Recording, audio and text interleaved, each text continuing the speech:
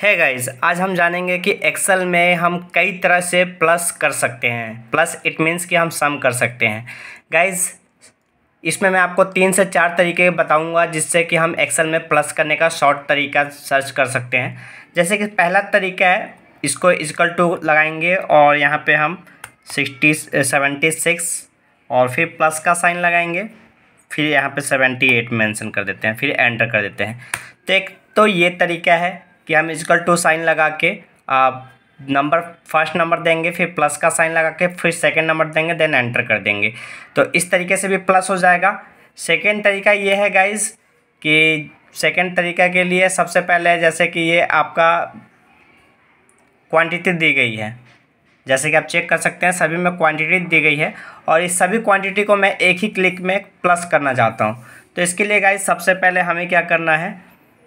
Alt के साथ is equal to का साइन लगाना है और एंटर कर देना है। अल्ट के साथ इजकल टू का साइन लगाना है एंटर कर देना है। एंटर करते ही जितने भी क्वांटिटी के स्टॉक थे, वो सभी प्लस हो चुके हैं गाइज़ आप देख सकते हैं। और थर्ड तरीका क्या है?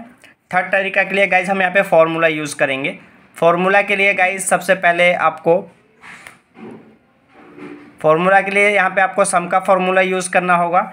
इजकल टू का साइन लगाना होगा, यहाँ पे टाइप करना होगा S U M sum then bracket open करना है और यहाँ पे आपको सभी को सिलेक्ट कर लेना है। सिलेक्ट करके ब्रैकेट क्लोज करना है और देन एंटर कर देना है।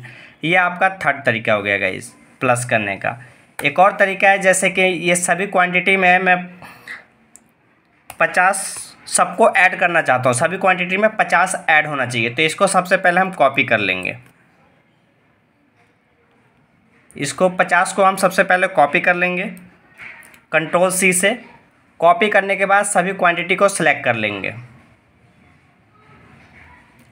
सेलेक्ट करने के बाद गाइस सिंपल आपको यहाँ पे पेस्ट का ऑप्शन आएगा।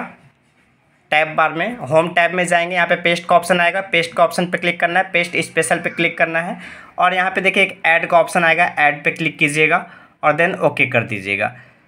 सभी जो क्वांटिटी थे, उसमें पचास जो है फिफ्टी नंबर वो ऐड हो गया है। तो ये आपका सभी जो आपके प्लस का सम का जो फॉर्मूला था, मैंने बताया आपको। वीडियो अच्छी लगी हो लाइक करें सब्सक्राइब करें थैंक यू